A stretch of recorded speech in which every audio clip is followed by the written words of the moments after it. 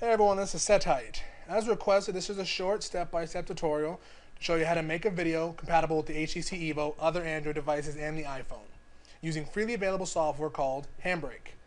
Handbrake is free, has a great user interface, and includes the codecs you need in the software.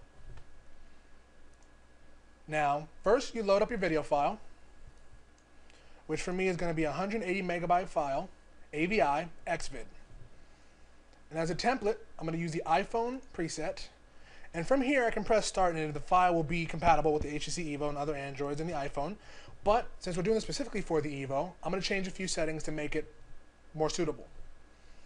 First thing I'm going to do is change the width of the file to 400, since that'll be exactly half the width of the HTC Evo playing in landscape.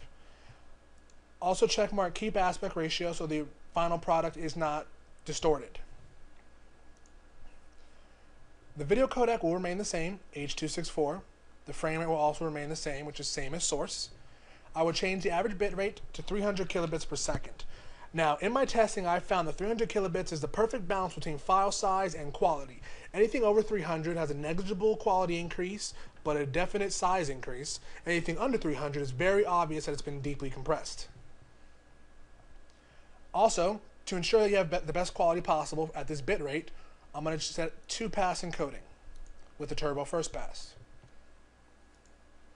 Audio codec is fine as is, AAC, 48 kilohertz, 40, 128 kilobits per second, but that is actually is rather high or rather excessive for the high efficiency AAC codec. So I will be changing that to 96 kilobits per second. And basically from there, I'm, I'm ready to go.